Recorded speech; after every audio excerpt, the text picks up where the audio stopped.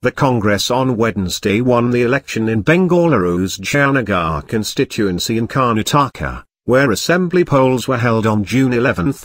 Congress candidate Sowmya Reddy defeated BJP's BN Prahalad to win the Jayanagar seat.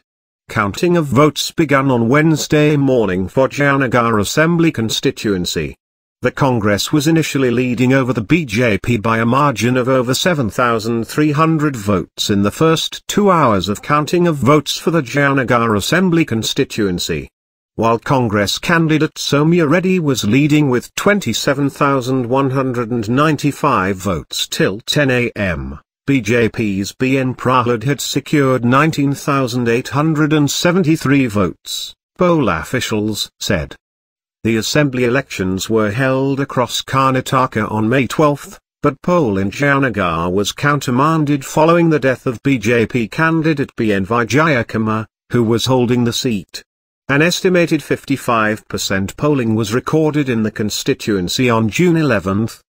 BJP's BN Prahalad, brother of Vijayakumar, and senior Congress leader and former Minister Ramalinga Reddy's daughter Sowmya Reddy were locked in a direct contest for the seat. In all, 19 candidates were in the fray. Police have made elaborate security arrangement in and around the counting centre. Ahead of polls, Janata Dal Secular had on June 5 pulled out its candidate from the contest and extended the party's support to its ruling coalition partner, the Congress.